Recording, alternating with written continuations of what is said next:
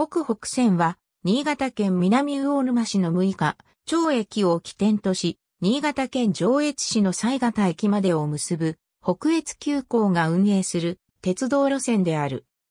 北陸方面への短絡線の役割を有する日本国有鉄道の予定線、北越北線として1968年に着工され、右余曲折の末、北越急行によって1997年3月22日より営業を開始した。開業以来、上越新幹線と連絡する列車の運行が行われており、2015年3月14日の北陸新幹線の長野駅金沢駅間、延伸開業までは、首都圏と北陸を結ぶメインルートとして特急、白高が同線を経由して運転された。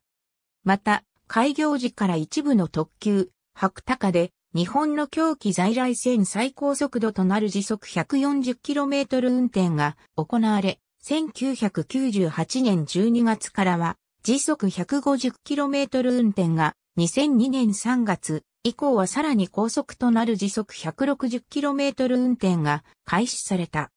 2015年3月14日に特急、白高の運行を終了した後、最高速度時速 160km で運行する列車はなくなったため、現在の線内の最高速度は時速 130km となり、白高で使用していた車両681系、683系も JR 西日本に売却されたため、営業列車は普通列車用の車両 HK100 系の性能から最高速度時速 110km で運転されている。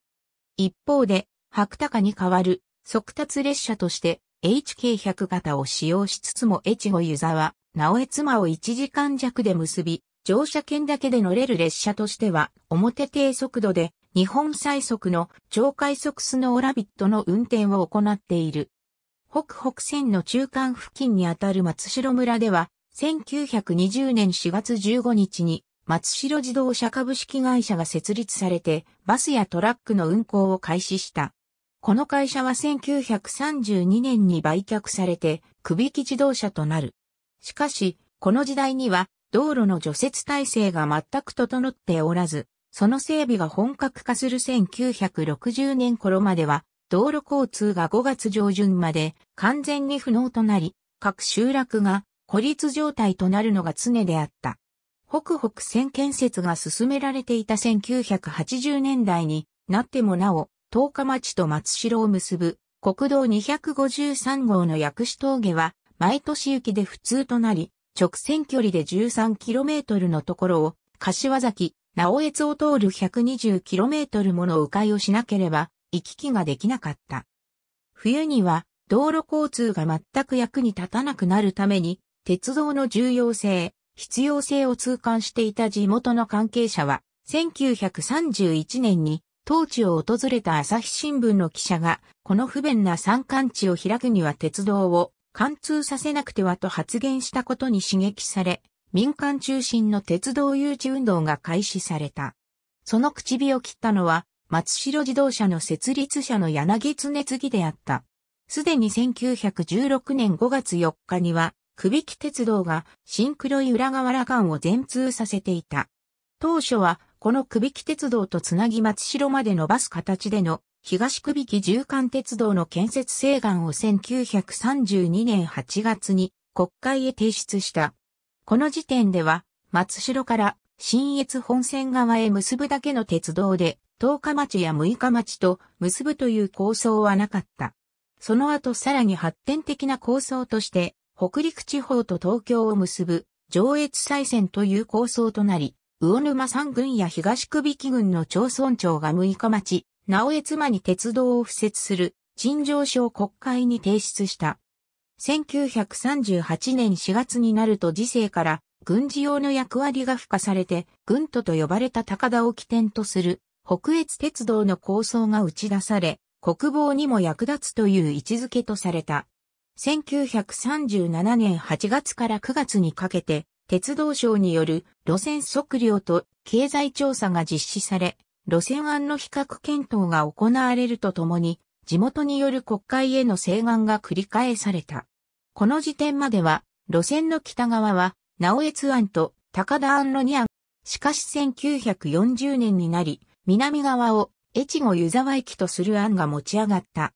これはスキーをしに松野山温泉に来ていた鉄道省の技師が越後湯沢と直江を結ぶ経路の方が有力であるかのように話したことが発端であるとされるが、真偽ははっきりしていない。この年の10月から11月にかけて、越後湯沢案に基づく路線の経済調査が実施され、両案の資料が揃うことになった。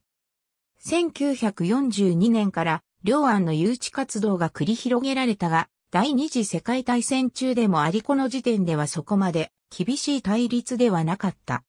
1944年には国鉄信濃川発電所のある千住町と十日町を結ぶ工事用の軽便鉄道を延長する形で松代までを結ぶ路線の建設が決まり、工事予算1800万円が計上されたが、翌年の廃線により計画は中止された。北越北線と北越南線の計画ルートと実際の北北線、第二次世界大戦後は、高田と結ぶ軍事路線という動きは消滅し、佐渡航路並びに北陸本線との連絡という観点から、直江津起点とすることで決着して、直江津と上越線を結ぶ鉄道とすることになった。1950年9月3日に北陸上越連絡鉄道規制同盟会の発会式が高田市で行われ、戦後の鉄道建設運動が開始された。しかしルートの一本化はできず、起点は直越とされたものの終点は六日町と越後湯沢の双方の案が快速に併記される形となった。以降、北越北線案と北越南線案の間で14年にわたる鉄道誘致合戦、南北戦争が勃発することになった。北線案の利点は、新潟県内の主要都市を結び産業開発や経済面で優れ、採算性に優れること、地滑り地帯がなく防災上有利であることであり、これに対して南線案の利点は、首都圏から直江津までの距離を短縮することができること、勾配を北線の25パーミルに対して20パーミルに抑えられ輸送力を大きくできること、内場や高倉の森林及び地下資源、三国、清津の温泉の開発ができることであるとされた。この当時、国鉄の新線は1922年に制定された鉄道敷設法に基づいて建設されており、新線を建設するには法律を改正して、鉄道敷設法別表に路線経路を記載する必要があった。そして別表への記載は、諮問機関である、鉄道建設審議会の検討を経て決定されることになっていた。日本の国政レベルでは、南北両案の一本化がで記載すれば、いつでも審議会で了承されるというところまで議論が進んでいた。しかし一本化ができないままに1953年2月の第9回鉄道建設審議会が開催され、両案の対立が激しくて、審議会でも決断を下しかね、経過値に関する地元の意見の不一致並びに、現地調査の不十分を理由に審議未了、保留となった。こうした事情もあり、両線の一本化を図るために、規制同盟会では、前年に、新潟県知事の岡田昌平に経過値の裁定を一任することを決議していた。岡田は、新潟県七市長会及び商工会議所、連合会に諮問して、北西案が妥当との答申を受け、8月に北西案採択の裁定を下した。しかしこの裁定を説明するために9月に開催された規制同盟会総会を南線側がボイコットするという事態となって、さらに時間が空費されることになった。その後も両派の争いは続いたが、1962年に事態は動いた。この頃、南西安の予定通過地である松野山町の中心部で地滑り災害が発生しており、鉄道の通過ルートとしてふさわしくないとされたことと、道路交通の発達でそれほど鉄道にこだわる必要がなくなったことなどから、一方の路線が採択された際にはもう一方の路線側から鉄道へ連絡する道路を整備するということを条件に国鉄に裁定を一任することになった。1962年4月22日に鉄道建設審議会が上越西線を予定線に採択することを決定し、5月12日に鉄道敷設法一条別表第55-3に、新潟県直江津より松代付近を経て六日町に至る鉄道及び、松代付近より分岐して、湯沢に至る鉄道が追加されて、南北両岸が鉄道予定線となった。1962年7月から国鉄では人口分布や産業構成などの経済調査を新潟県に依頼して実施した。地元でも従来の上越再線規制同盟会を発展的に解消して新たに北越線連合規制同盟会を1963年6月27日に発足させ、工事線への昇格に向けて積極的な運動を行った。1964年4月22日に運輸大臣は北越北線を調査線に指示し、続いて9月28日には工事線に格上げした上で、南線は北線によって紅葉を満たしうるとの判断から、調査線から南線を削除した。こうして北越北線が正式に採択され、南北戦争は終結することになった。なおちょうどこの頃、1964年3月に日本鉄道建設公団が設立され、国鉄の新線建設事業は、公団が引き継ぐことになって、北越北線も公団に引き継がれた。北越北線が調査線となって以降、詳細なルートの検討が進められた。地元は北越北線に旅客輸送を期待したが、国鉄から見れば首都圏と北陸地方を短絡する有力な貨物線であり、上越線と新越本線との間の方向転換、機関車交換作業を廃止し輸送時間を短縮することを狙っていた。そのため、重量1000トンの貨物列車の運転を想定した貨物輸送が路線選定の用となり、当初は6日、懲役と黒い駅を可能な限り直線的に結ぶルートが考えられていた。これにより十日町では、飯山線と直行するルート案となり、飯山線の10日、懲役とは別に北越北線の10日、懲役を約1300メートル離れた位置に設け、地下駅とする案もあった。しかしこれには地元からの強烈な反発があり、実際の経路は、飯山線10日、懲役に乗り入れる暗い区上のものとなった。また、東首引地方では、安塚、大島、質屋を経由する南側に膨らんだ路線を要望されて決着に時間を要したが、最終的にほぼ原案通りとなった。ところが、国鉄側と最終的に詰める段階になり、直江津駅構内の貨物ヤードが処理能力の限界を迎えていたことから、黒い駅の西型駅寄りに新たな操車場を建設する構想が持ち上がった。これにより北越北線の乗り入れは操車場に支障しない西型駅とならざるを得ず、旧首木鉄道沿線から経路が外れて首木村の中心地も通らないことになった。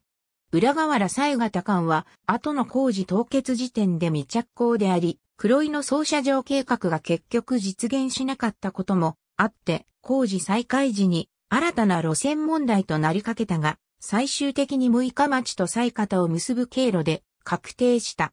1964年9月28日に運輸大臣が定めた基本計画では、北越北線は起点を直越市、終点を南魚沼郡六日町とし、単線非電化で線路等級は乙線とされていた。これをもとに工事実施計画の指示が行われた。設計にあたっては、日本有数の豪雪地帯を通ることから、雪崩や地滑りの起こらないような場所を選んで、ルートの設定を行い、将来的に貨物列車や急行列車の運行を行う優等線とすることを考えて、勾配や曲線を少なくするようにした。公団の発足当時、工事線に指定されていた路線は、全国で47路線があり、その総延長は約 2000km、走行費は約2000億円とされ、年間約100億円程度の公団の予算では、実現にかなりの時間がかかるのは確実な状況であった。北越北線も鉄道建設審議会で速やかに着工という意見が添えられた路線に含まれていなかった。しかし当時の地元国会議員らの熱心な取り組みもあって、比較的早く着工にこぎつけることができた。まず6日町10日町間について、1968年3月28日に工事実施計画が認可され、8月14日に着工となった。この区間を先に着工したのは、松代と浦河原の間でのルートの決着がついていなかったためである。基本計画とは逆に起点は6日、超、終点は10日町で、途中停車場は西6日町、赤倉信号場、追加と仮称されていた。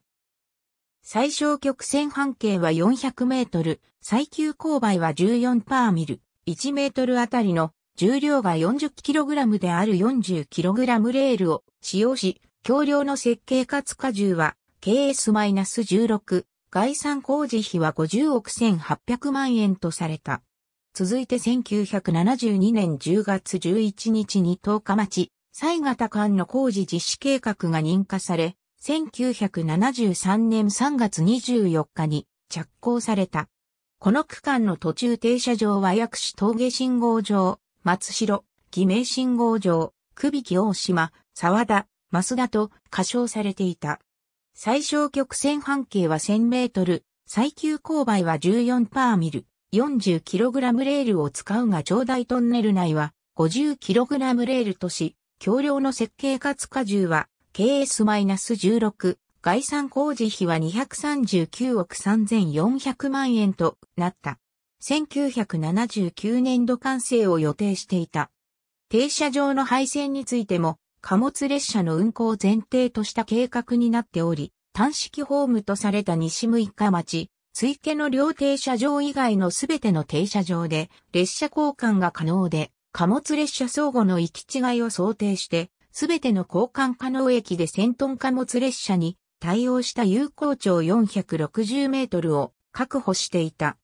在来線併設の6日町、10日、超、最方を除くすべての停車場に上下線とも安全側線を設置して上下列車の対比線への同時進入を可能とすることになっていた。6日町、10日町、松代の各停車場については、機関車牽引の重量編成を想定して、プラットフォームの有効長を240メートルとし、これ以外の停車場については、電車列車の6両編成を想定した140メートルとしていた。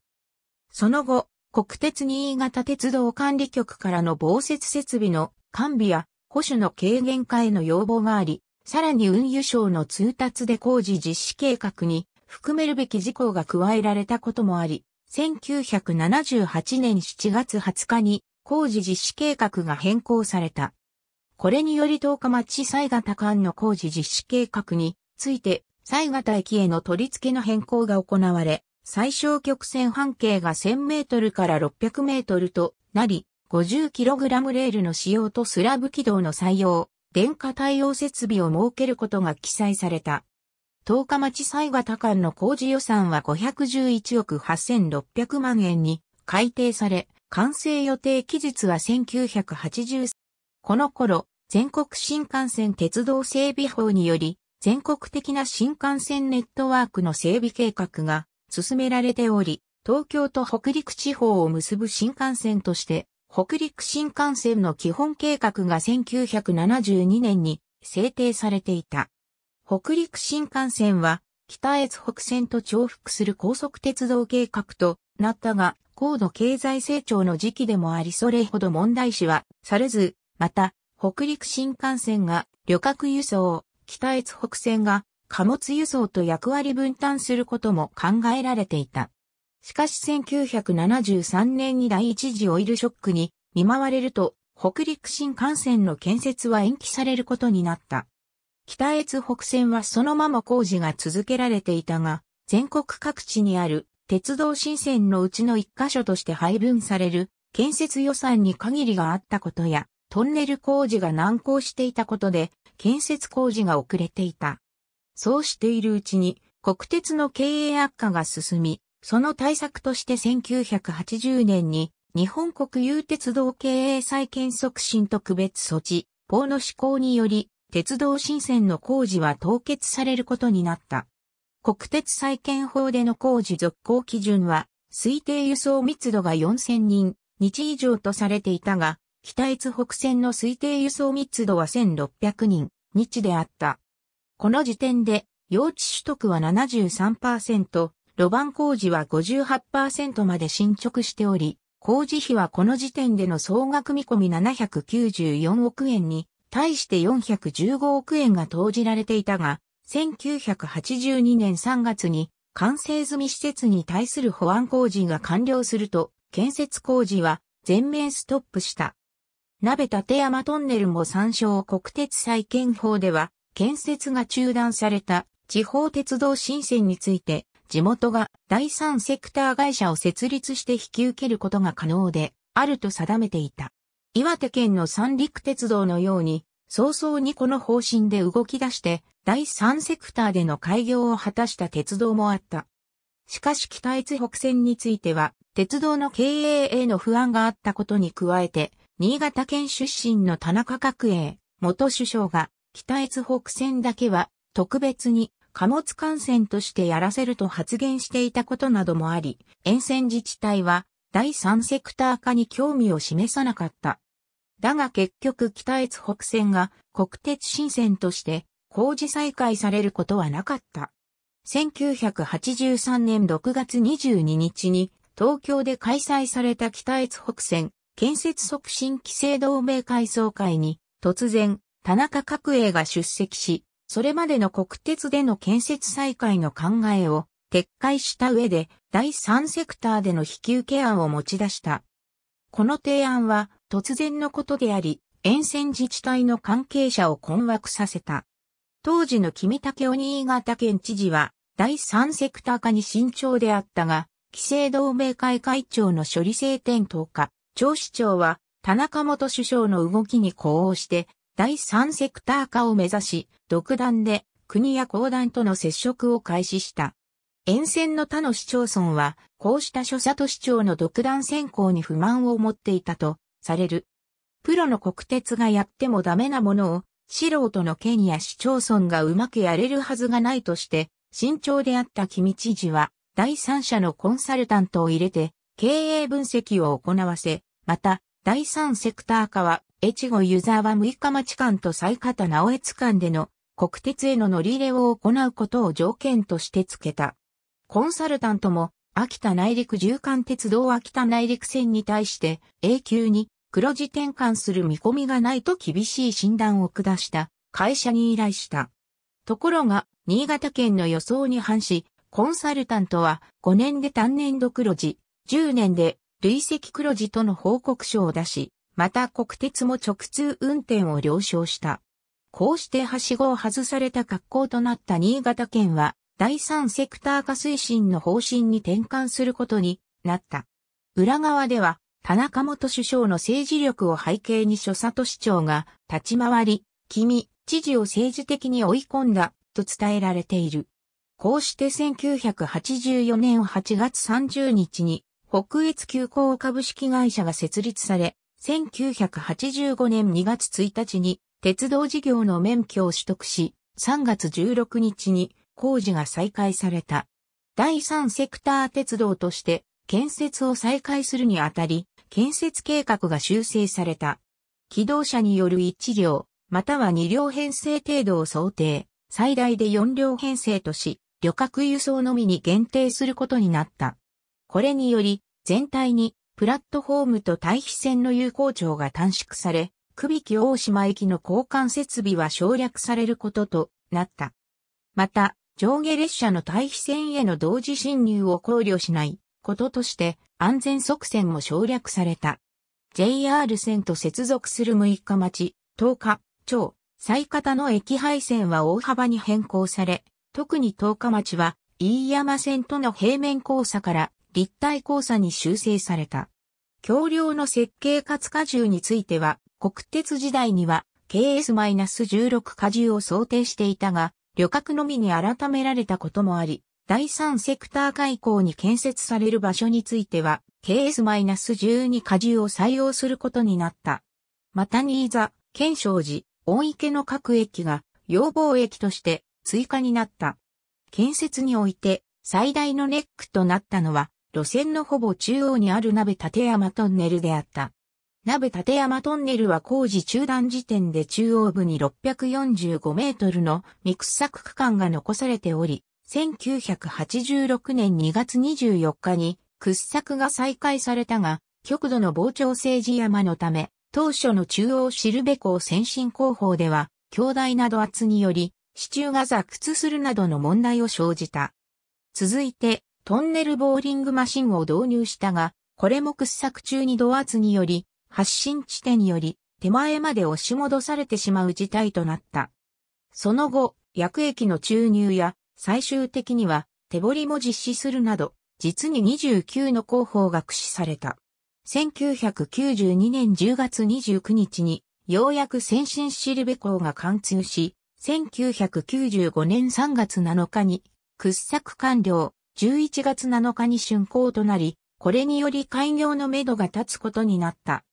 結果的にこの区間には10年余りの歳月と146億円の公費が投入されることとなり、後に北北線の開業を左右したのは政治でも採算上の数値でもなく、鍋立山トンネルの工事であったと評された。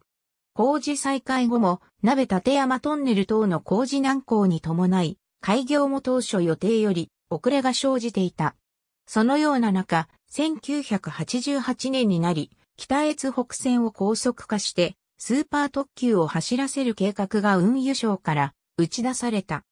当時、北陸新幹線は整備新幹線問題の関係で、計画凍結は解除されたものの着工されておらず、1988年の、いわゆる運輸省案では、長野以南の建設を優先し、高崎軽井沢間のみ、フル規格、軽井沢長野間は、ミニ新幹線、糸魚川魚津間、高岡金沢間については、構造物を新幹線と同じ規格で建設し、線路を在来線と同じ期間にする、スーパー特急方式とする計画が提案されているに過ぎなかった。北越北線はこの時点で、路盤は完成していたが、軌道敷設は行われておらず、もともと優等列車の運転を想定して高い規格で建設されていたこともあり、翌1989年5月31日に高速化、電化に伴う工事実施計画の変更が申請され、路線の軌道は最高速度時速 200km も視野に入れた高規格路線での建設が開始された。これにより JR と直通の特急列車を走らせることとなり、高速化事業に要するとされた310億円は建設に当たっていた公団の地方新線工事費から70億円、幹線鉄道活性化事業費補助金が42億円、北越急行出資金が40億円、JR 東日本の負担金が158億円とされた。JR 東日本の負担分は、北越北線の利用権という無形財産取得名目として実施された。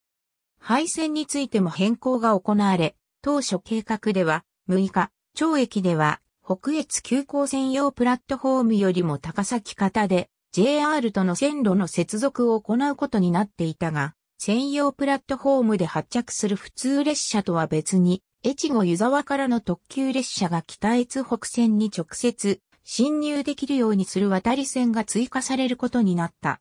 10日、町駅では JR 線を乗り越した後に地上に降りて、プラットフォームを設ける計画であったが、プラットフォーム前後に生じる急勾配と急曲線を解消するために、高架上にプラットフォームを設置することになった。西形駅では、高架で JR 線を乗り越した後に海側に、北越急行線用プラットフォームを設ける計画であったが、新越本線の上下線の間に降りて、JR 線に乗り入れる構造に改めた。設備面では、高速化の制約となる分岐器の通過速度制限を緩和するために一線スルーにする改良を実施した。軌道を強化するため、スラブ軌道区間を延長し、レールも一部を 50kg レールから 60kg レールに変更し、道床圧の増大や枕木の追加を実施した。特急列車の最大重量編成に対応するように、プラットフォームや交換駅の対比線有効長が再び延長された。信号設備は高速進行現時のできる信号機を設置し、また、自動列車停止装置を ATSP 型とし、安全側線は省略されたままとした。このほか、ホーム柵の設置、雪害対策の強化、騒音防止などの措置が取られた。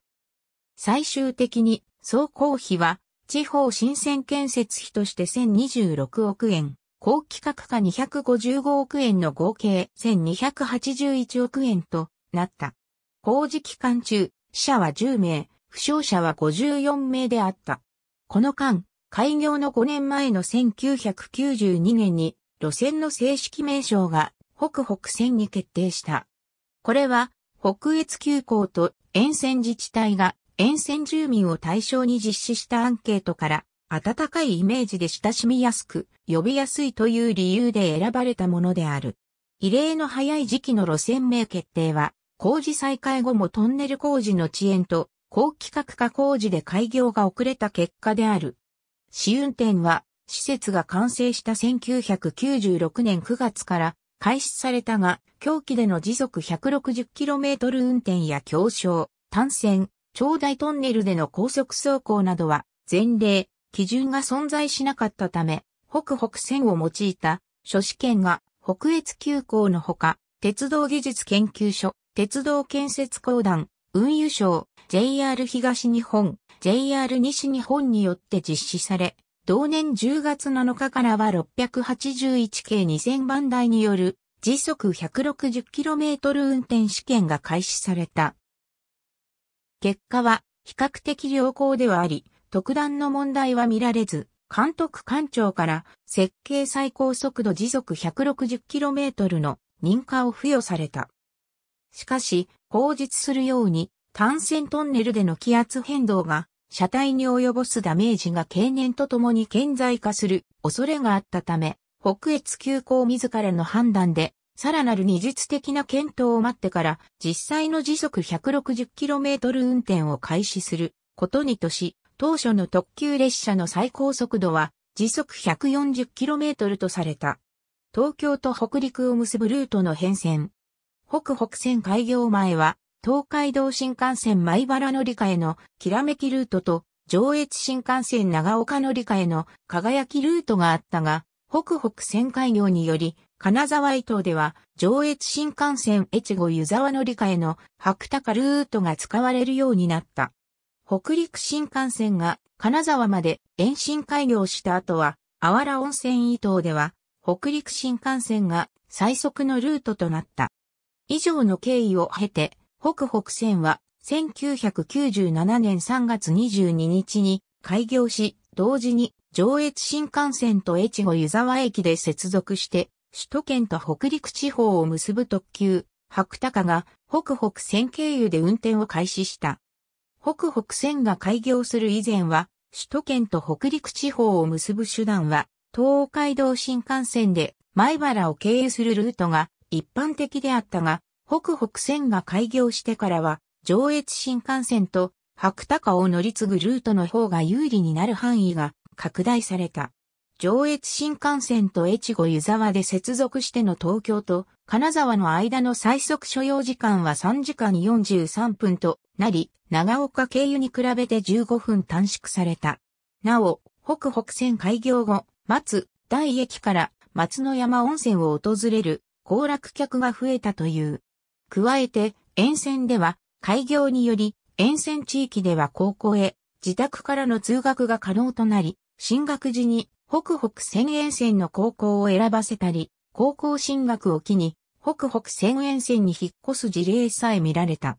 上越線が普通になると、越後湯沢と六日町のタクシー利用が増加する事例も見られるようになった。その後、口述するように最高速度について段階的な検証を行い、1998年12月8日から白高が時速 150km 運転を開始したが、この時にはダイヤ改正は行わず、運転上の余裕自分の確保に挙げられた。続いて2002年3月23日から当初の予定通りの時速 160km 運転が開始され、北北線内においては時速 140km での運行当時と比較して1分30秒の所要時間短縮が実現した。加えて車両面も高速化が進み、時速 160km 運転開始時に JR 西日本の485系が時速 160km 対応車の681系と交代し、2005年3月1日には北越急行が時速 160km 対応車の683計8000番台を投入したことで JR 東日本の485系が撤退し、以後定期特急列車はすべて時速 160km 運転対応の車両となった。北北線は雪対策の節で口実するように周囲の路線と比べ、比較的安定的な運用を行っているが、2000年代にはたびたび自然災害に見舞われている。特に2004年10月23日の新潟県中越地震では発生後前線で運転を見合わせ、10月26日より被害の少なかった最方松台間で普通列車に限った臨時ダイヤによる運転を再開し、11月2日に全線で運転を再開した。当初は速度制限付きの運転で12月17日から時速 160km 運転を再開している。また、2005年2月11日より上越線が全面復旧する3月24日までの間、週末を中心に延べ13日にわたって急行、能登が北北線を経由して運転された。2007年7月16日に発生した新潟県中越沖地震では特急白鷹が終日運休となり、翌17日から運転を再開した。一方、北北線の高規格化が行われるきっかけとなった整備新幹線計画問題については、北北線開業のおよそ半年後の1997年10月1日に北陸新幹線高崎長野間が開業したが、この時点では上越新幹線北北線経由が石川県東部、富山県、新潟県西部への最速ルートであることから、開業まで運転されていた特急、白山のような長野駅から北陸地方への接続列車は定期運転されず、長野新幹線という愛称が付けられる一因となった。しかし、長野以北についても、翌1998年3月12日に、長野上越間、2001年4月25日に、上越富山間、2005年4月27日に、富山金沢白山総合車両基地間の工事計画がフル規格で認可され、順次着手されるなど、計画が見直されるたびに、フル規格での建設が進められていった。当時、北北線を運営する北越急行は10日間しか営業していなかった初年度を除いて毎年数億円の黒字となっており、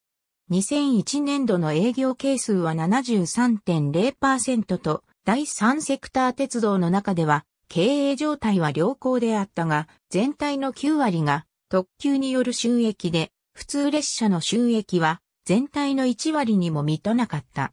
このため、北陸新幹線開業に備えて、利益を赤字補填用に蓄えることとした。先日の JR 東日本の485系を683計8000番台の自社による投入で置き換えたことも JR 東日本側の事情のほか全便高速化による運用効率向上によるサービスアップ増収や JR 東日本への車両使用料の支払いをなくし、逆に従来3社で相殺していた JR 東日本、西日本線の走行時の車両使用料収入を得るという目的もあった。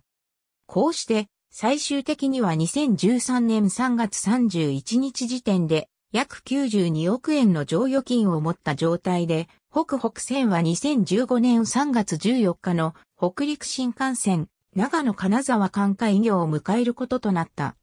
直江津駅に停車中の超快速、スノーラビット2015年3月14日の北陸新幹線の金沢開業後は、特急、白鷹の廃止により、北北線は地域輸送を主とする路線として再出発を切ることになった。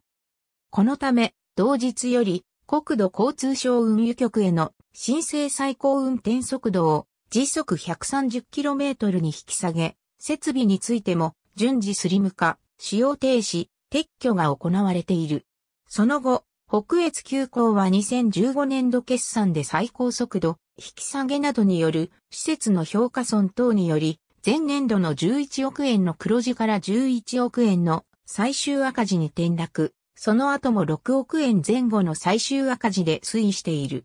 しかし北越急行では2012年時点で、白高利用者の22%から25%が、直江津駅で乗降していることや、沿線の十日町を中心に、東京や金沢と相互のビジネス需要が見込まれることから、北北線経由の需要も残るのではないかとし、事業を当面継続することは可能であるという見通しを持った。運行面では特急の廃止により普通列車の自分短縮が実現した。加えて北北線全体の速さと便利さをアピールする快速を超える列車として前年の2014年から越後湯沢、直江妻を1時間で結ぶ超快速列車の運行を計画し、2015年3月14日のダイヤ改正でスノーラビットの愛称で運転開始した。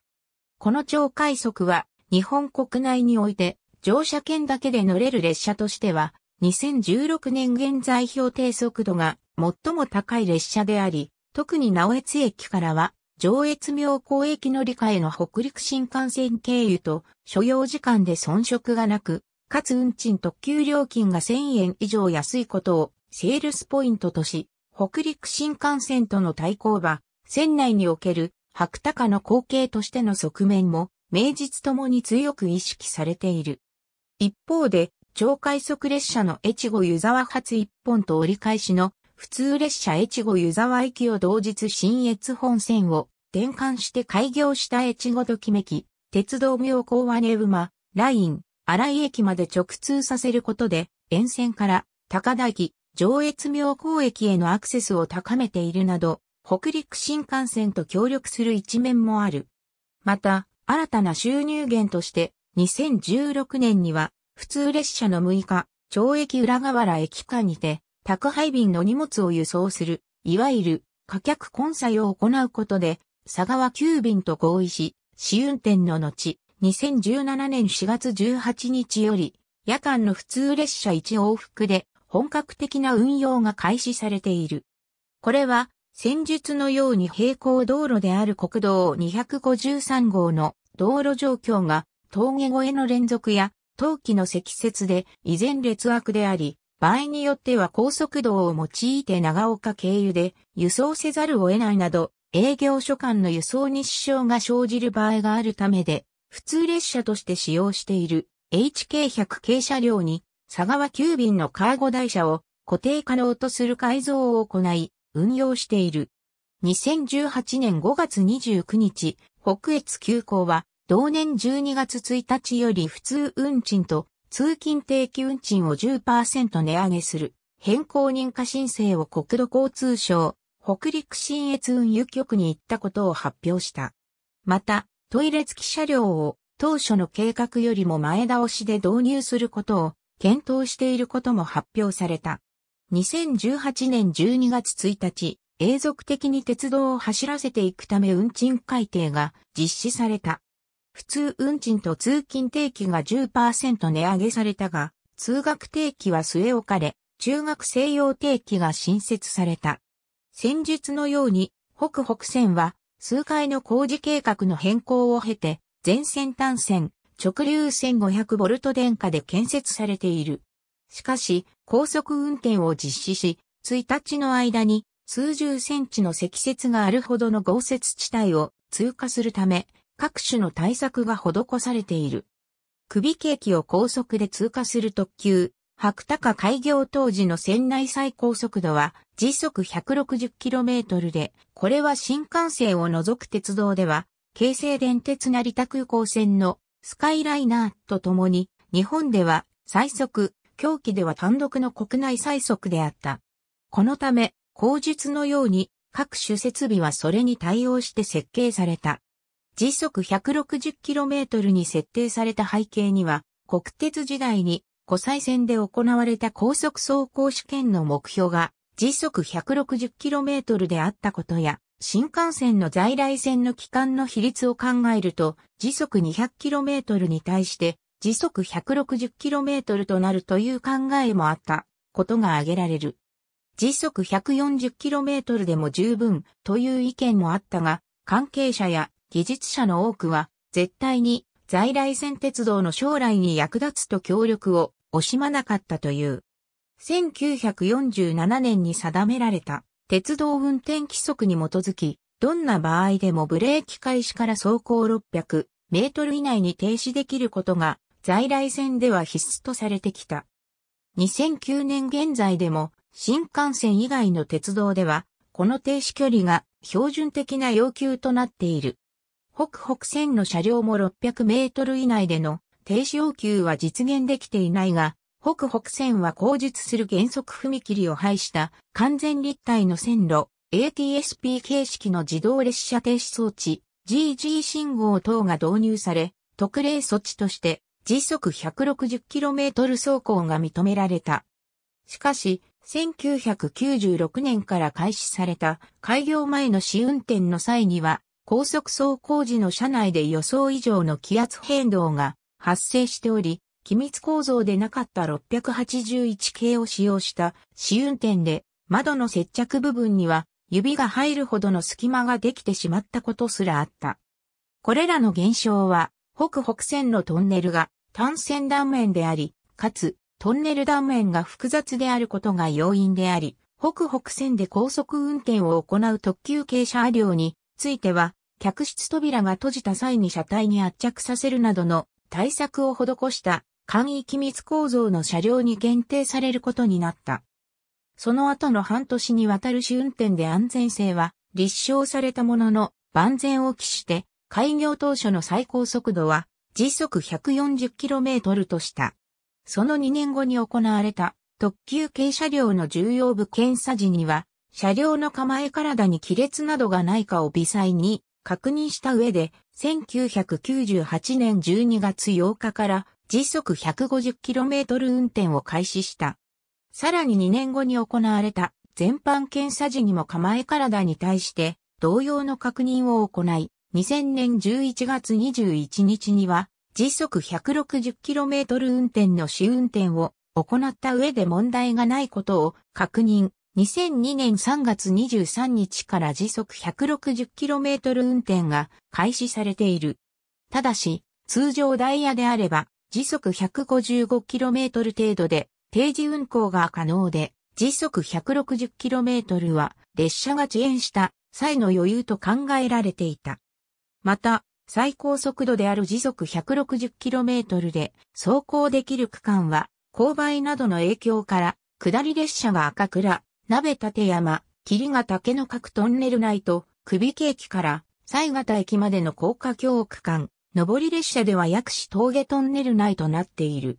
さらに、気圧変動の緩和のため、ATSP によってトンネル侵入時に時速 130km に速度を落とし、侵入後のトンネル内で時速 160km まで加速させている。北陸新幹線開業後の2015年3月14日以降は、特急列車の時速 160km 運転を終了し、国土交通省運輸局への申請最高運転速度を時速 160km から引き下げている。なお、営業列車は基本的に時速 110km で運転する普通列車のみとなったが、E491 系検測車や485系などの JR 車両を運転するため、申請最高運転速度は時速 130km としている。なお、時速 160km 運転に関わる技術は成田スカイアクセス線へ継承されており、日本鉄道運転協会から北越急行に対して時速 160km による運転の実績と京成電鉄への技術承継を評価する東記念賞が授与されている。建設中数度にわたり工事実施計画の変更が行われたが、最終的に最小曲線半径は400メートル、最急勾配は33パーミルとなっている。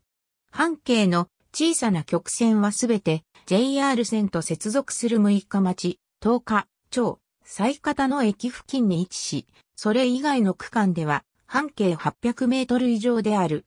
もっとも、曲線のきつい半径400メートルのカーブは、西型駅の一箇所のみで、制限速度は時速 80km である。高規格化にあたって、緩和曲線長の延伸などの改良が行われている。踏切は、四十橋の6日、町駅、西型駅構内の2カ所のみであり、線区の中間には全く踏切が存在しない。この2カ所の踏切では、前後に存在する曲線や分岐器に伴う速度制限により、列車の通過速度が時速 130km 以下に抑えられることから、他の線区の踏切と同等であるとして、特段の保安措置は取られていない。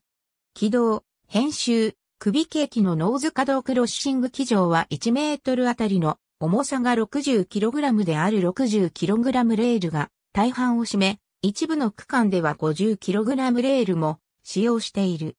2009年現在では在来線では 50kg レールが一般的で 60kg レールの採用は少ない。60kg レールは新幹線と同じレールでその重さにより高速走行の衝撃に耐えることができ、車両の高速走行の安定化に貢献している。軌道はトンネル内や高架橋など全線の約7割でスラブ軌道が採用され、軌道の強化と保守の低減が図られている。このスラブ軌道には枠型スラブと称するコンクリート使用量が少ないものが採用されており、その後東北新幹線、北陸新幹線の延伸部分でも採用された。築堤など約2割の区間はバラスト軌道を用いたが、築堤上にアスファルトを敷き雨水浸水対策をした上で軌道を敷設している。このほか、事情に応じて合成枕木直結軌道、男性枕木直結軌道、高直結軌道、パネル軌道などの区間もある。住宅の多い地域では、バラスト軌道とコンクリート枕木の組み合わせを採用し、騒音低減を図るなどの配慮が行われている。本線上において、高速走行の列車が通過する場所にある分岐器12組は、ノーズ可動クロッシングとしたが、これは、開業時点では、新幹線以外の日本の鉄道ではほくほく線を含めても20組程度しか導入されていなかった特殊な分岐器である。十日町駅構内については、駅前後の曲線で速度制限を受けることによって時速 130km 以下の速度での通過となるため、ノーズ可動クロッシングを使用していない。また、交換設備はすべて一線スルー方式で直進側を通過する際には最高速度のままで通過可能である。トンネル、編集大沼丘陵と東首木丘陵を横断する線形からトンネルが14カ所と多く、すべてのトンネルの長さを合計すると4342メートルとなり、これは路線長59468メートルの67.8%に相当する。他の構造種別は、泥板が9679メートルで16.3%、橋梁が9447メートルで15.9%である。口述のように単線であることに加えて、非電化を前提として建設が開始されたため、通常の複線電化されたトンネルと比較、全長が3000メートルを超えるトンネルについて、起点側から順に以下に示す。赤倉トンネル、魚沼丘陵新座間に位置する全長1471.5メートルのトンネルで、トンネル内に赤倉信号場と三差島駅が存在する。国鉄、JR 以外の日本の鉄道用として開通した山岳トンネルでは最も長い。東航区4281.5メートル、中航区4140.0メートル、西航区2050.0メートルの3つの航区に分割して施行され、東航区及び中航区では膨張性地圧と大量の湧水により工事が難航した。トンネル内で上越新幹線の塩沢トンネルと立体交差となっており、交差部でのトンネル間隔は1メートルもない条件で、先に赤倉トンネルが施行されたことから、塩沢トンネル施行前に赤倉トンネルに補強工事を行っている。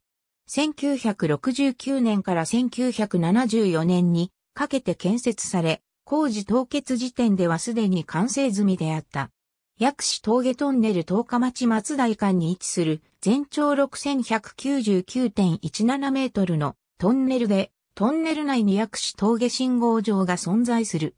東港区3647メートル、西港区2522メートルに分割されて、施行され、西港区では地質に恵まれ順調に掘削できたものの、東港区は大規模な異常出水に直面したほか、国鉄信濃川発電所用の水路トンネル2本との立体交差があり、特別な対応が求められた。1973年から1979年にかけて建設され、工事凍結時点ではすでに完成済みであった。鍋立山トンネル鍋立山トンネル松大北北、大島間に位置する全長9116.5メートルのトンネルで、トンネル内に記名信号場が存在する。東港区1750.5メートル、中港区3387.0メートル、西港区3979.0メートルに分割して施行され、東港区は予定通りの工期で完成したが、西港区の後半と中港区は膨張性地山と可燃性ガスの流出により苦しめられた。1973年に着工したが、1982年の工事凍結時点で645メートルが未掘削で残されており、工事再開後も日本のトンネル工事史上未曾有とされる困難を極める工事となった。最終的に1995年に完成し、途中の中断期間を含めると21年11ヶ月を要した。霧が竹トンネル北北大島虫川大杉間に位置する全長3726.98メートルのトンネルである。東港区1826メートル、西港区1828メートル、出口側開削区間140メートルの3港区に分割して施行された。地質に恵まれた工事であったが、西港区は建設中に工事凍結を迎え、東港区は工事再開後の着工となった。1978年から1992年にかけて建設された。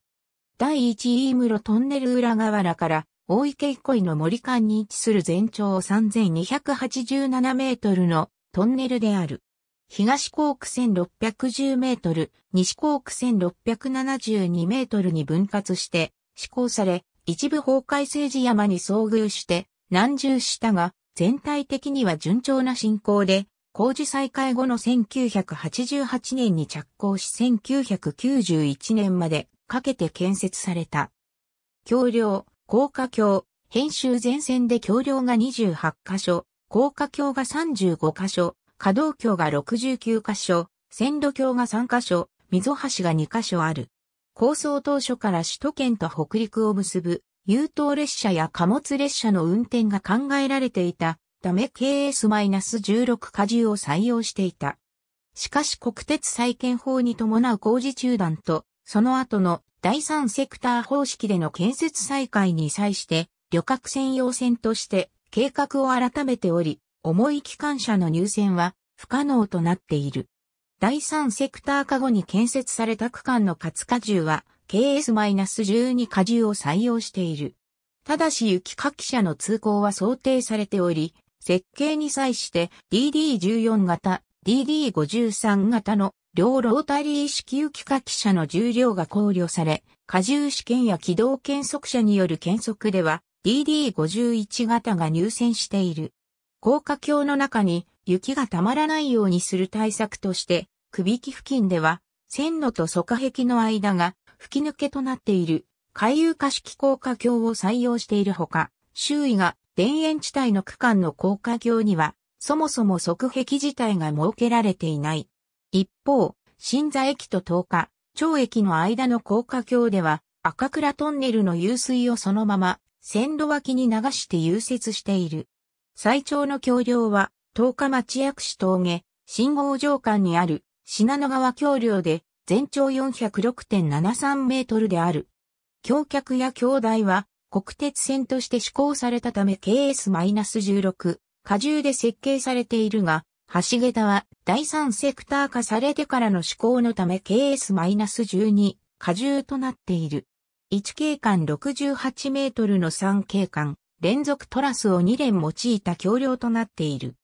列車の行き違いを行う交換設備は、奇襲点を除くと10日町、松台、虫川大杉、首木の4駅と赤倉、薬師峠、義名の3信号場にあり、すべて重量編成同士の列車交換が可能である。駅数は、両端の6日、町駅、西型駅を含めて12駅で、自社管理の駅員配置駅は10日、町駅だけで、起点、終点駅である6日、町駅、西型駅と10日、町駅以外は、すべて無人駅である。特急の停車しない駅のプラットフォームは、虫川大杉駅の一番線のみ9両分の長さで、他は、すべて2両分のみである。また、信号場は3カ所ともトンネル内にある。トンネル内の信号場は、国鉄新線としての建設時に貨物列車の運行を計画していたことから、有効長460メートルを実現するために、伏線断面となっている延長が680メートルに達しているが、実際の対比線有効長は240メートルとなっている。当初計画では、制限速度時速 45km の振り分け分岐器を使用することになっていたが、そのままでは一線する構造を実現できないことから、半径3000メートルの S カーブとすることによって対処している。白高、快速が停車しない駅では、列車が高速で通過して危険であることから、地上駅についてはホームへの入り口にはスイングゲートを装備し、列車に乗降するとき以外はホームに入らないようにとの注意書きがなされた。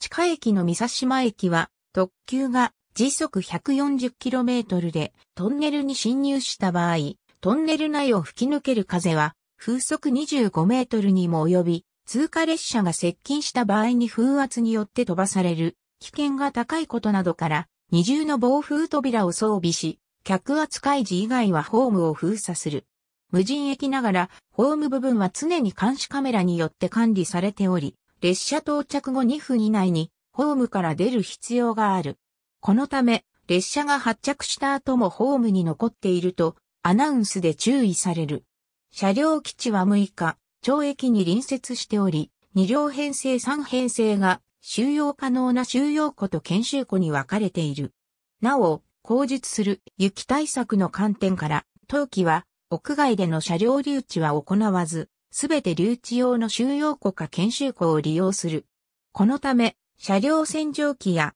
洗浄台も収容庫内に設けられている。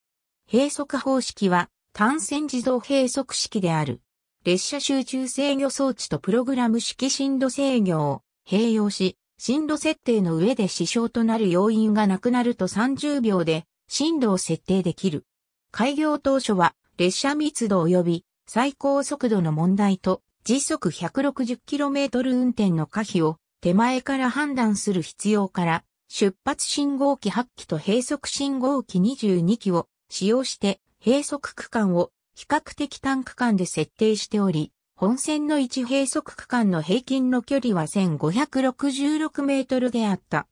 2015年3月14日以降は、特急列車の時速 160km 運転を終了し、加えて列車の設定本数が半減したため、本線にある閉塞信号機は JR 線と接続する6日町、赤倉信号場間と首木西型間の各一箇所を除いて使用停止とし、それ以外の区間では列車の交換施設がある駅、または信号場の間に設置されていた複数の閉塞区間を統合して一つの閉塞区間とした。なお、使用停止となった閉塞信号機は2016年度中にすべて撤去されているが、長大トンネル内での走行位置を運転士が判断できるようにする必要性から、従来閉塞信号機があった箇所に黄色い丸の反射板と数字による視点標識を順次新設しており、視点標識での確認観光を新たに設けている。保安装置は ATSP 型を採用している。当初、運輸省では高速運転に際して新幹線と同様に自動列車制御装置の導入を求めていたが、導入コストの問題のほか、各地からの臨時列車の乗り入れが、車種の制限なく行えるようにするため、ATSP 型の導入となった。この ATSP 型の全面導入により、北北線の交換駅では安全側線を廃止し、交換列車同士の同時進入についても、本線側時速 55km、分岐側時速 45km に制限速度が緩和されている。また、2015年3月13日以前は、時速 130km 以上での走行を許可する高速進行現時として、主信号機では緑2灯の点灯、中継信号機では縦に6灯の点灯をもって高速進行現時とする GG 信号が導入されていた。この GG 信号は ATSP 型のトランスポンダ車上子を搭載した車両に限って現時されたもので、トランスポンダ車上子搭載車が信号機を通過する数十秒前に G 信号からの変換により GG 信号が現時される。GG 信号は中三灯を開けて点灯することにより視認性を向上している。この GG 信号の導入により、それまでの緑一灯の点灯となる進行現時は時速 130km の制限信号となった。また、GG 信号を表示する出発信号機の下には、オレンジ色の速度標識が掲出されたが、これは制限速度ではなく、当該区間の許容速度を示す標識であった。なお、申請最高運転速度を時速 130km へ引き下げた2015年3月14日以降は、五等、式信号機についても3元時のみの点灯となり、速度標識も順次撤去されている。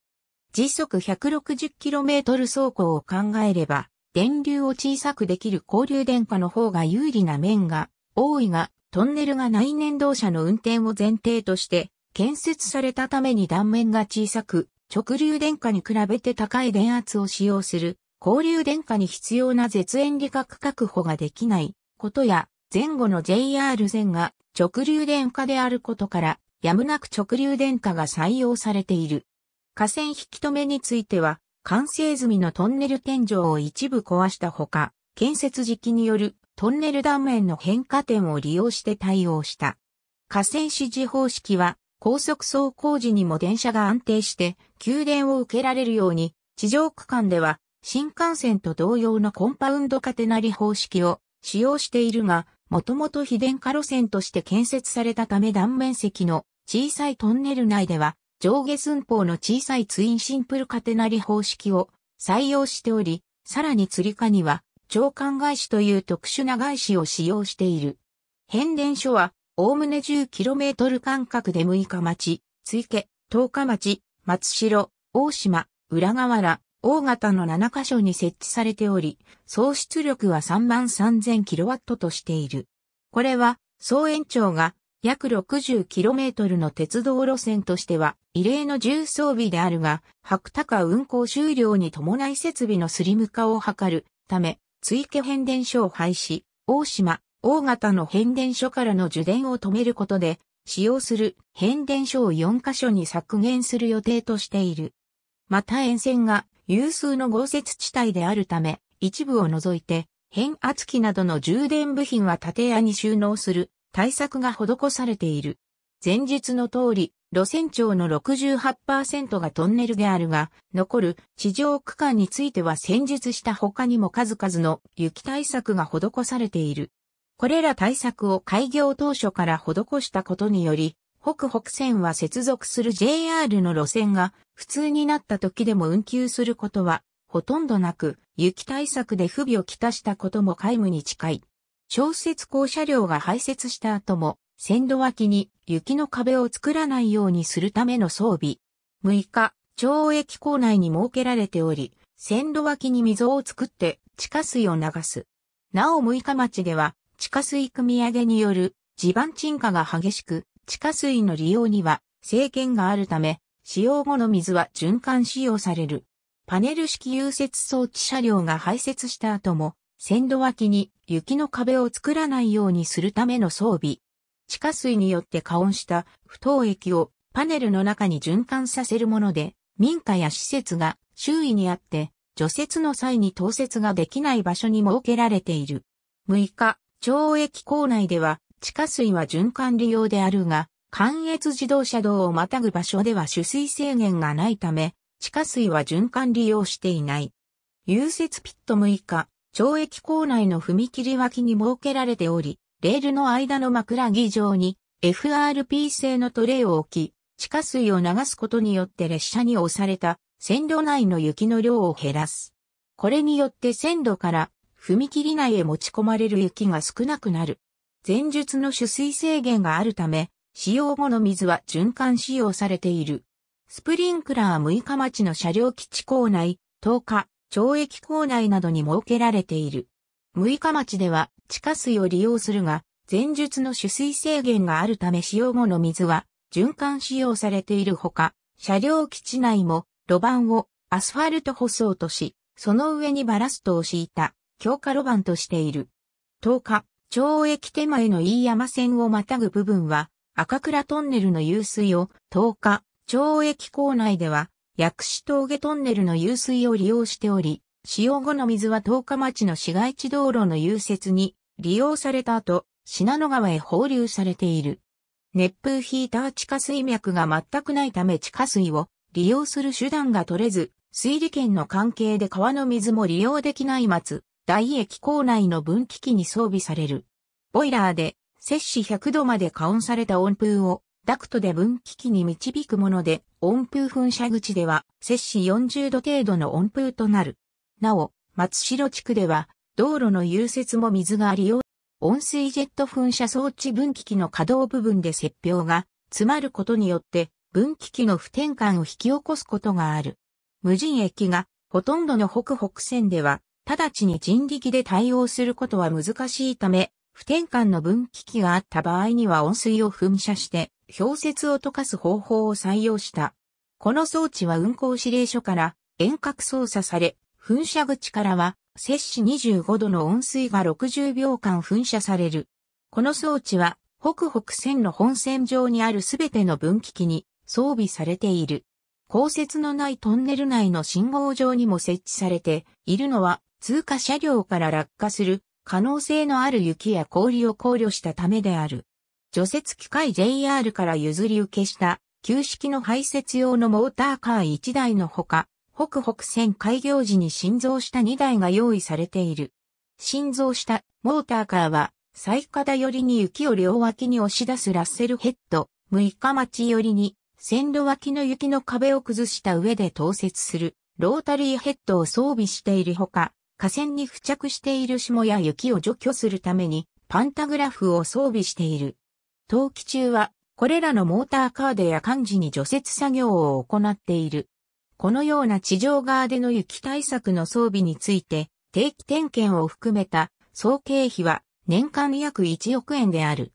地上側の設備に加え、船内列車に使用される HK100 系電車のスノープローの先端部分は串の葉のような形状にしている。これは2本のレールの間の雪が圧雪状態の塊になると脱線事故の原因になりかねないため、この先端部分で雪をほぐし、圧雪状態にならないようにするためである。さらに、前述の運行体制の一環として、大雪であっても列車の運行を行うことによって線路上への積雪を最小限に抑えている。北越急行では最大の除雪手段は列車を走らせ続けることとしている。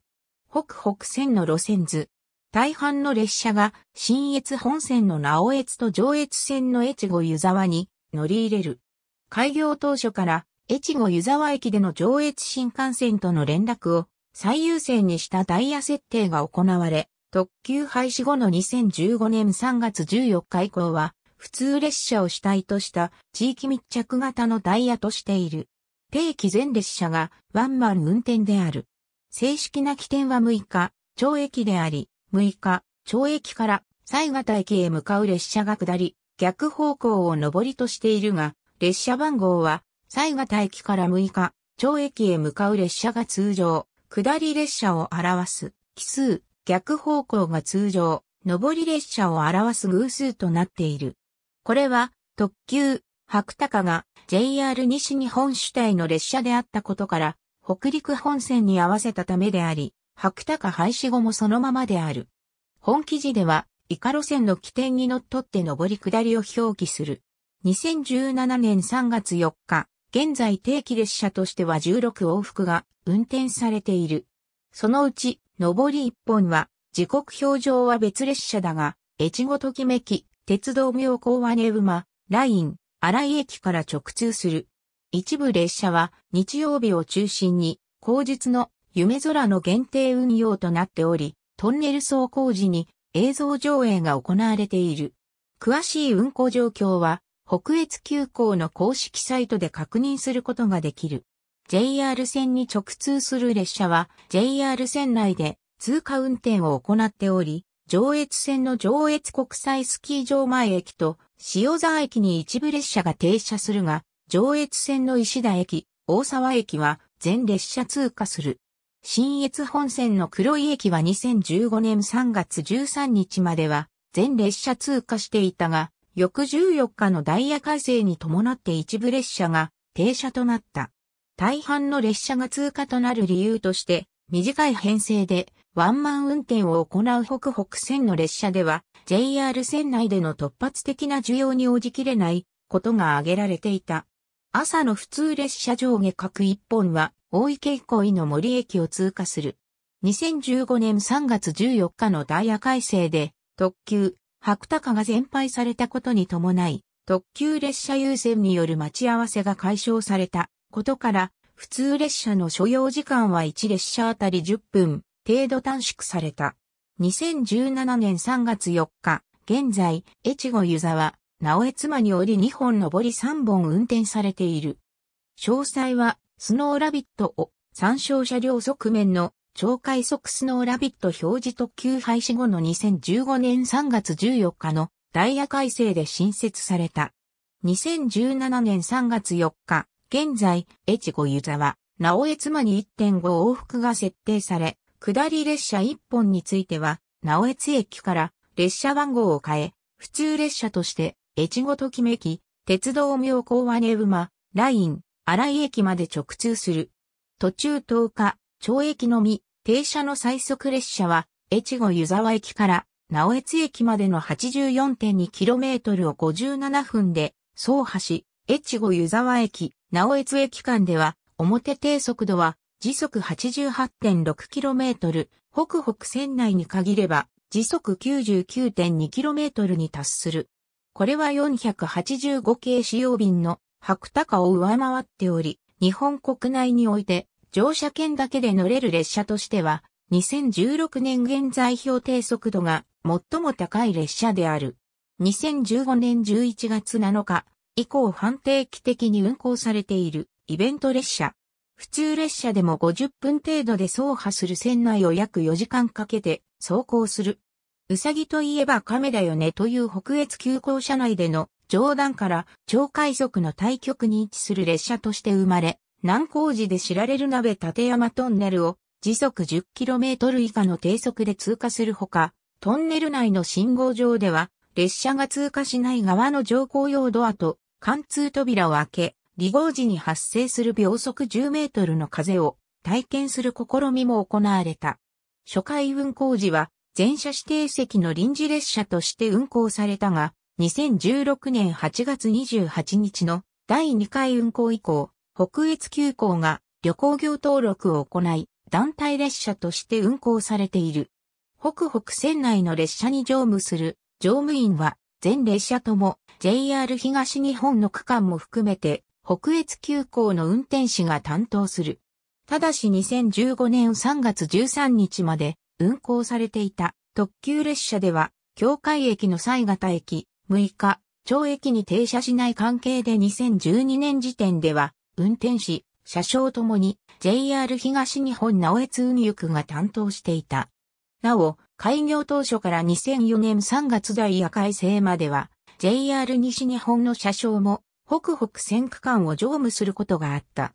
駅員が配置されている越後湯沢駅、塩沢駅、6日、町駅、10日、町駅、西方駅、直越駅では、すべてのドアが開き乗降ができるが、ワンマン運転を行っているため、それ以外の駅では2両編成で運転される。普通、快速列車の場合、2両目のドアは開かず、1両目の後部のドアより乗車し、1両目の前部のドアより降車する後乗り前より方式となっている。北北線の運行管理は6日、町駅に隣接した運転指令所により行われている。開業当初から JR 東日本新潟支社の運転指令との連携が行われていたが、当初は JR 西日本の区間での遅れ情報が JR 東日本を通じて提供されるシステムであったため、ダイヤの乱れが大きい場合には、情報の遅れが生じ、ひどい時には、越後湯沢行きの列車の遅れ状況が直越に到着しないと判明しなかったことすらあった。このため、他車線での遅れ状況を把握するためのディスプレイが運転指令所に設置され、JR 西日本エリアも含めた運行状況をリアルタイムで把握できるようになった。2012年に PRC の更新が行われた際には、北北尖閣駅にアニメーションで前線の列車の位置や遅れ状況などを表示する列車運転状況表示装置が設置された。また、運転通告についても JR などで行われている運転通告権による方式は無人駅の多い北北線では困難であるため、無線伝達をもって運転通告としている。このため、前線にわたって漏洩同軸ケーブルが付設され、列車が北北線内のどの位置にいても、運転指令書との通信が明瞭に行える。北北線区間の特急の運転士は前述の通り、JR の乗務員が担当していたが、北北線内では、一切の指揮系統は北越急行の運転指令によるものとなっていた。一方北越急行の運転士が担当する普通列車の JR 東日本区間への乗り入れ先では JR 東日本の指揮下となる。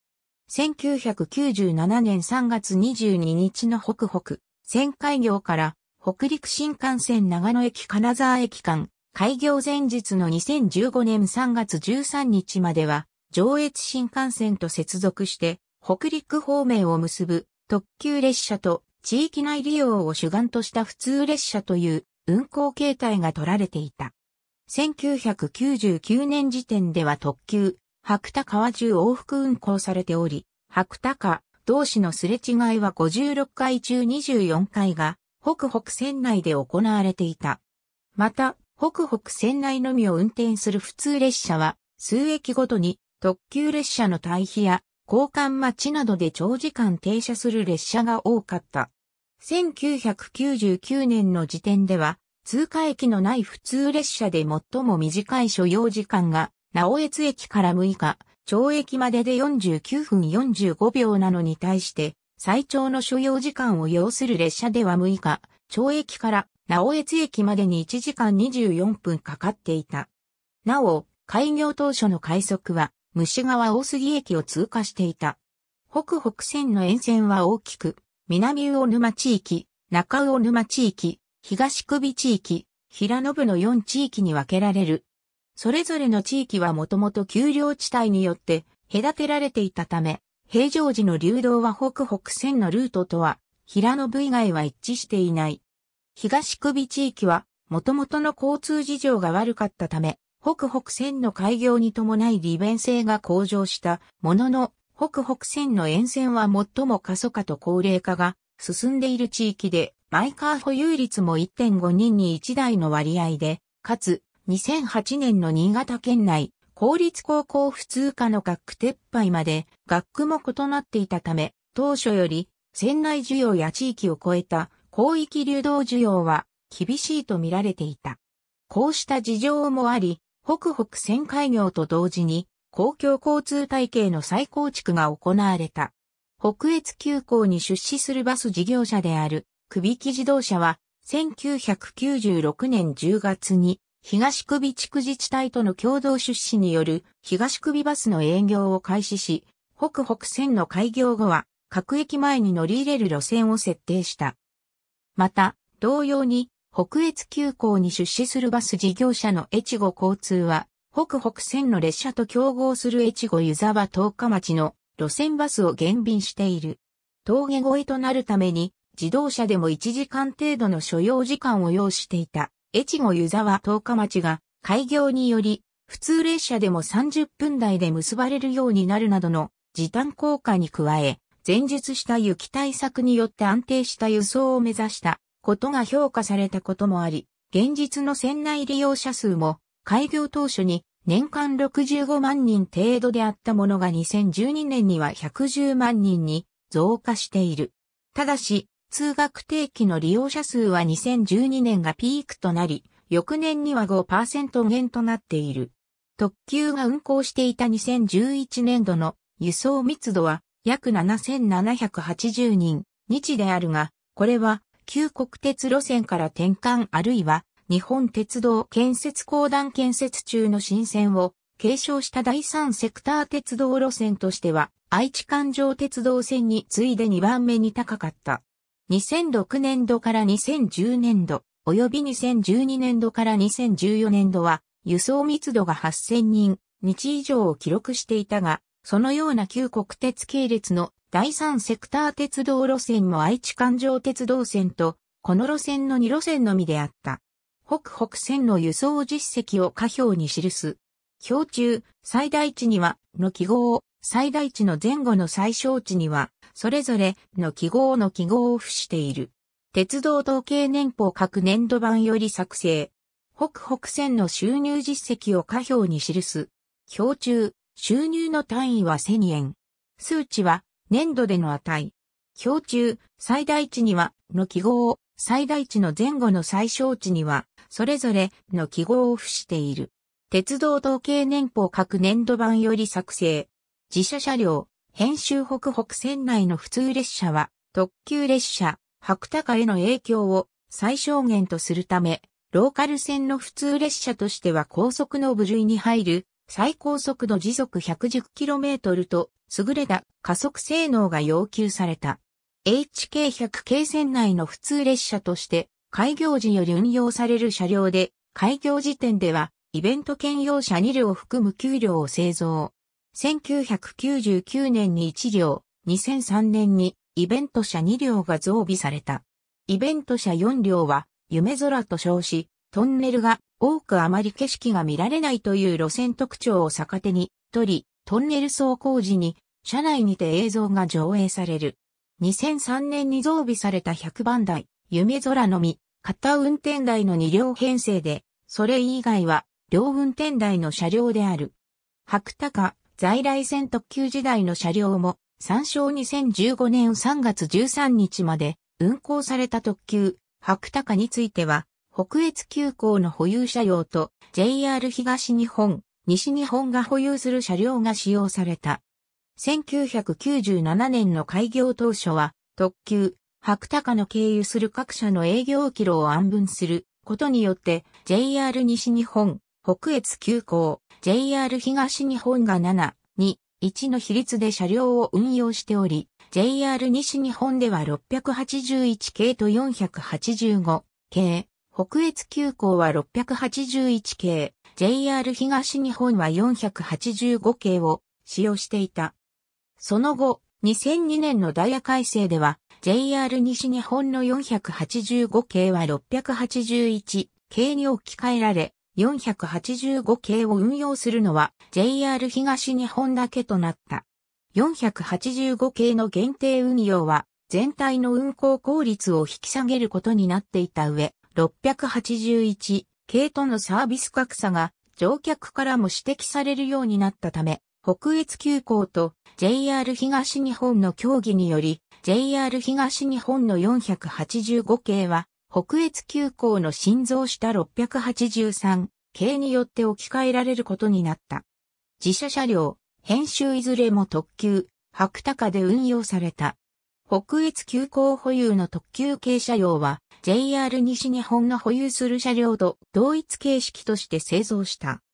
これは車両選定の段階で時速 160km の高速走行を考慮して設計されていたのが JR 西日本の681系しかなかったこと、全くの新形式を製造することは、会社の体力的に無理があったことが理由として挙げられている。その一方、他社からの乗り入れのみでなく自社の車両を保有することになったのは、各社間協議で大規模な相互直通運転を行うには、各社が初期の設備投資をするのが絶対条件とされていたこと、過去に経験のない高速運転を実施するために長期に渡る試験が必要となったが、JR 西日本の車両を長期間借用するのは困難であったことが理由として挙げられる。北越急行所属車については、独自の赤主体の塗装、スノーラビットエクスプレスという車両愛称を持ち、車体には、スレイと雪うさぎのロゴマークが施されていた。